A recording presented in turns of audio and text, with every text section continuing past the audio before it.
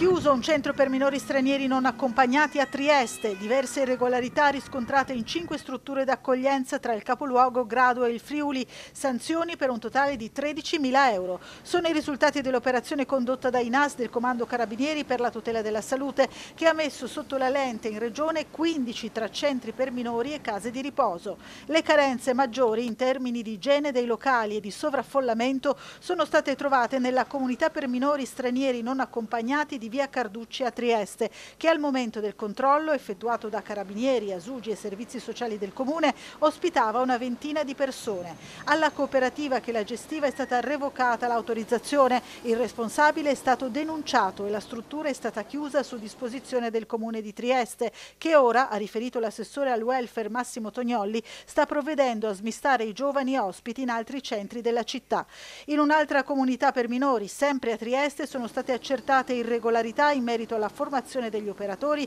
e alla designazione degli addetti alle emergenze. Lo stesso tipo di carenze è stato trovato anche in una casa per minori che si trova in Alto Friuli, mentre in una struttura analoga nel Medio Friuli è stato denunciato il responsabile per una serie di violazioni, fra cui il mancato aggiornamento del piano antincendio. Infine a Grado è stata sanzionata una casa di riposo per il mancato rispetto dei tempi di deposito dei rifiuti sanitari pericolosi.